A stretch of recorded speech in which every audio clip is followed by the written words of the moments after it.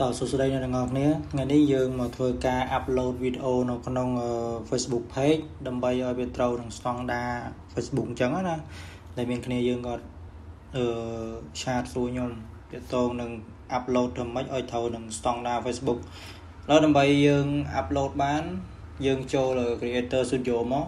អ្នកទាំងអស់គ្នាវាយអញ្ចឹងមកនេះវាយ Creator Studio មកចាំមកចុច Enter មកតោះមកអ្នកទាំងអស់គ្នានឹងឃើញពាក្យថា Creator Studio Facebook អឺឥឡូវនេះ Facebook វាបាន update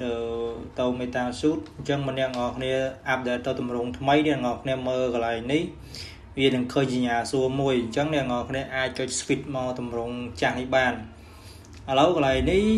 យើងជ្រើ page មួយណាដែលយើងត្រូវការ upload វីដេអូចូលអញ្ចឹងណាឥ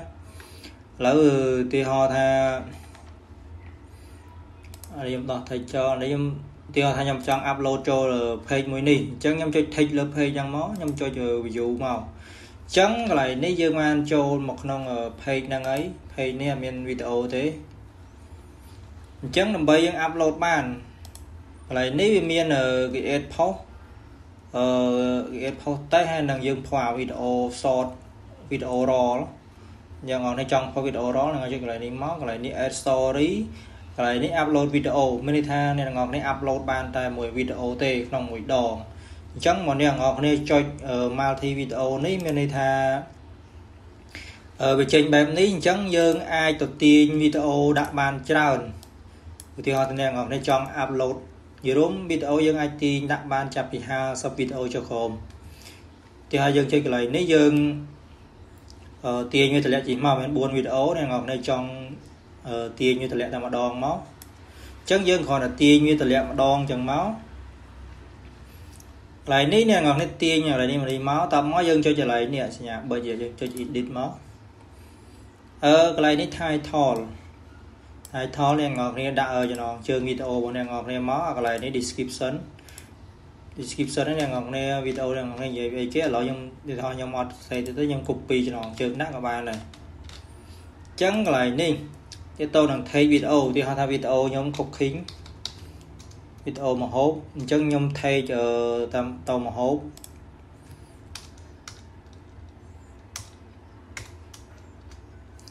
អឺបងអ្នកនរគ្នាទាក់ទងនឹងវីដេអូផ្សេងផ្សេង funny អីអ្នកនរគ្នា take ទៅ funny ទៅ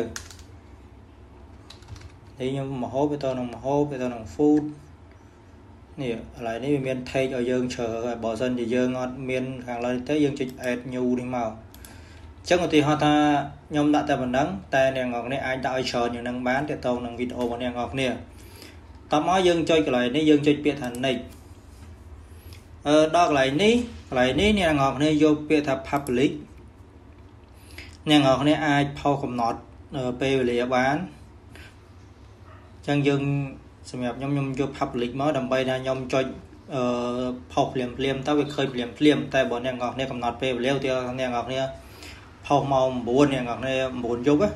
អ្នកនរគ្នាចង់ឲ្យចេញស្អែកម៉ោង7ព្រឹកអញ្ចឹងអ្នកនរគ្នាចុចកន្លែងហ្នឹងមកហើយអ្នកនរគ្នាកំណត់ថ្ងៃខែម៉ោងនេះកន្លែងនេះមកអញ្ចឹងខ្ញុំអត់នេះទេខ្ញុំយក public អញ្ចឹងកន្លែងនេះវានេះវីដេអូយើងមានន័យថាអត់ដល់3នាទីទេអញ្ចឹងវាលោតសញ្ញាឧទានហើយ កន្លែង description នេះមានថាយើងមាន tag យើងបានដាក់អញ្ចឹងវានឹងគ្រីសហើយវីដេអូនេះវាអត់សូវច្បាស់ទេហើយមួយទៀតយើងអត់តន់មាន playlist ទេអញ្ចឹងយើងចង់អឺនេះបើសិនជាយើងដាក់វីដេអូចាប់ពី3នាទីទៅវាលោតសញ្ញាគ្រីសយីហើយកន្លែងនេះបើសិនជាវីដេអូយើងច្បាស់គឺវាលោតសញ្ញាគ្រីសដូចគ្នាកន្លែងនេះមាន playlist ក៏វាលោតសញ្ញាដែរតែបើយើងគ្រាន់តែផុសធម្មតាទេយើងមិនបាច់នេះខ្វល់មួយវាទេយើងចុចពាក្យ save មកអញ្ចឹងកន្លែងនេះយើងបានរៀបចំវីដេអូនេះហើយមួយហើយអញ្ចឹងដើម្បីយើងចូលជំហានបន្តយើងចូលវីដេអូទី2អញ្ចឹងយើងធ្វើដូចមិញយើង copy នេះមកហើយ take នេះអ្នកនរគ្នាដាក់ក៏បានមិនដាក់ក៏បានហ្នឹងស្រេចលើអ្នកនរគ្នាទេឥឡូវចុចពាក្យ next តមកចុចពាក្យ public now ចុច save កន្លែងនេះយើងចុចចឹងទៀត ហើយកន្លែងនេះបិទអឺអា CC យើងចុចបិទមកក៏បានដែរកុំឲ្យវាចេញពណ៌លឿងភាសាវាវីដេអូនេះមិនមែនជាភាសាអង់គ្លេស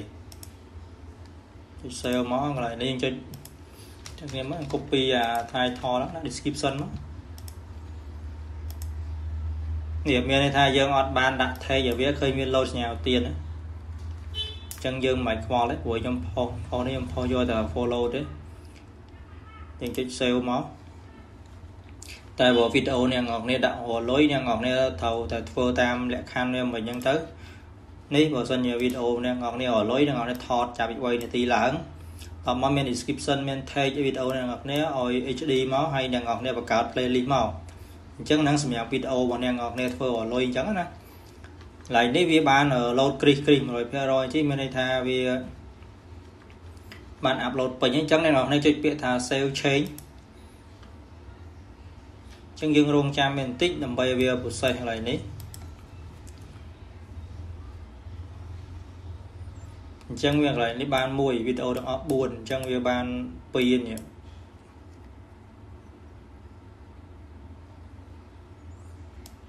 ចឹងរបៀប upload វីដេអូនៅក្នុង page ឲ្យត្រូវនឹងស្តង់ដារបស់ Facebook វាអត់មានអីទេមានតែប៉ុណ្ណឹងហើយ បើអ្នកនរគ្នាចង់ឆែកមើលថាតើ page របស់អ្នកនរគ្នាត្រូវនឹងកោការ policy របស់ Facebook អត់អញ្ចឹងអ្នកនរគ្នាចូលលេខ monetize មកអញ្ចឹងយើងចូលកន្លែង view នេះមកអញ្ចឹងមានថាប្រភេទអ្នកនរគ្នាចេញ green ជីហើយអឺកន្លែងនេះវាអត់មាន load policy មានន័យថា page របស់អ្នកនរគ្នាគ្រប់កោការយើងអាច apply ឲ្យលុយបាន តែបើសិនជាវាចេញ policy ពណ៌ក្រហមនៅកន្លែងនេះ គឺភ័យយើងអត់អាចរលុយបានទេនៅពេលដែលគ្រប់គោលការណ៍ហើយលក្ខខណ្ឌនៃការរលុយរបស់វានេះអ្នកនរគ្នាអាចមើល requirement គេឡើយនេះបានចឹង requirement គេឥឡូវវាធ្លាក់ឲ្យពីមុន 10k ឥឡូវធ្លាក់សល់ 5k follower ហើយនឹង 60k នាទីអាហ្នឹងលក្ខខណ្ឌនៃការរលុយអ្នកនរគ្នាធ្វើឲ្យគ្រប់គោលការណ៍កន្លែងនេះមកអ្នកនរគ្នានឹងមានប៊ូតុង apply ហើយ ចឹងតែកន្លែងនេះវាដាក់ 10k ដែរហើយកន្លែងនេះ 6k វិញអឺពីមុនកន្លែងនេះដាក់ 6k និង 10k អាក្រោមឥឡូវវាតម្លាក់អាលើតែអាក្រោមវាអត់តតម្លាក់ចឹងបើ page យើងចេញមកអញ្ជីតម្រងចេះគឺ page យើងគ្រប់គោលការណ៍យើងអាច set up អស់លុយបាន តែយើងត្រូវតែមាន admin នៅក្រៅស្រុកឥឡូវយើងចូលទៅមើលវីដេអូដែលយើងបាន upload មិញ យើងអរគ្នាចូលកន្លែង publish នេះមក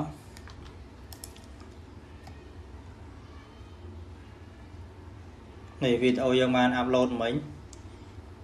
អញ្ចឹងវាមានន័យថាយើងអាន upload today នេះអញ្ចឹងរបៀប upload វីដេអូមានតែប៉ុណ្ណឹងហើយ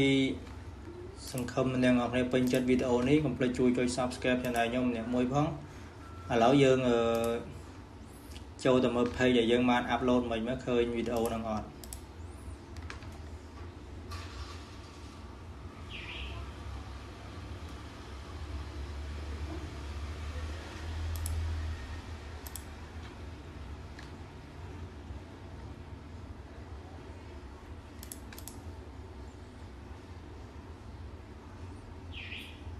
ចឹងយើងចូលមើល page មិនចឹងមើល